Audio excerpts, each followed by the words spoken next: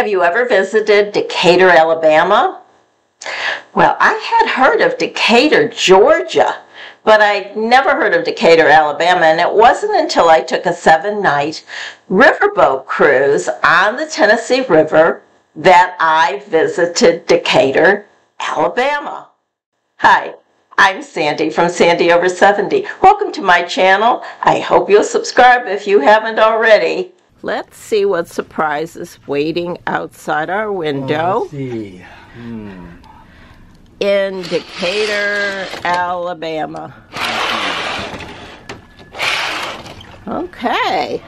Well, we're right in town, that's for sure. Yeah, that's for sure. That's right. Yeah. Yeah. This morning we went to the main dining room for breakfast for the first time because they were having waffles. And we had Liege waffles. I've never heard of them or had them before, so I looked it up. And they are from East Belgium and they are very sweet waffles. Probably the most delicious waffles I have ever had. Great things about traveling by riverboat in the United States is that you get to visit small towns that maybe you'd never get to see if you weren't on this cruise. American Cruise Line provided complimentary hop-on, hop-off buses in the city. This is a picture of one of the tour guides. I think she looks like the perfect Southern belle.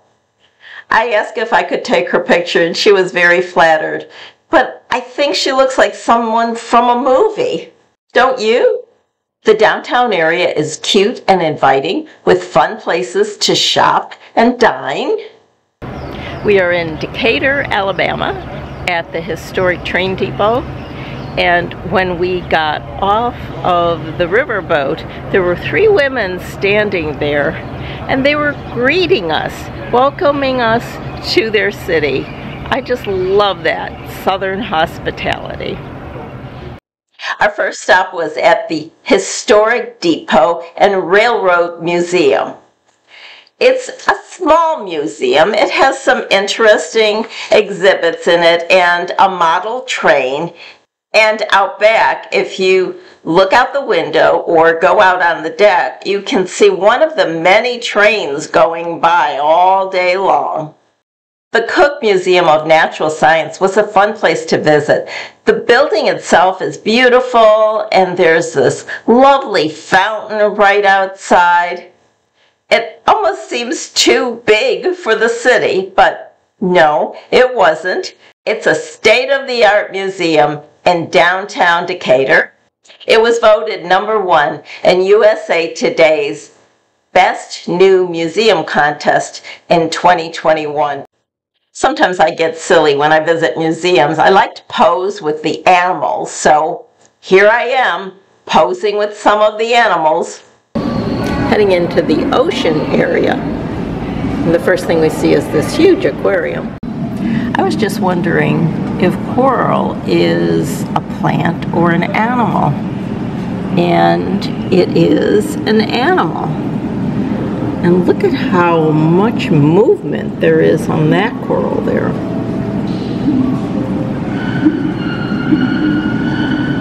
The guide said that this fish scratches its back on this coral all day long. It plays around in there. Isn't that cute? Look at this beautiful bluefish. Woo-wee!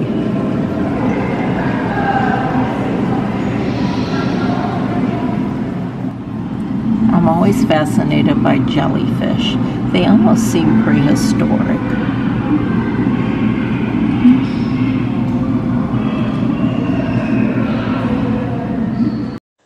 I hope you enjoyed this little visit to Decatur, Alabama, and maybe someday you'll get to visit this really friendly city.